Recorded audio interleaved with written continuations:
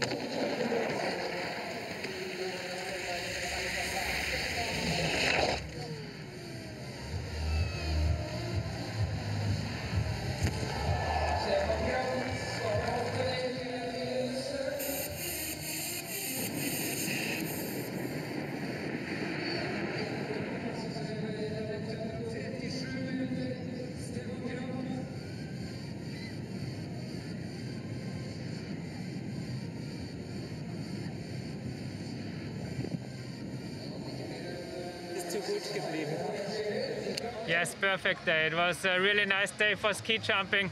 Uh, much better the wind than yesterday, and uh, yeah, perfect weather, perfect hill. It was great fun today, and two really good jumps. What can we do?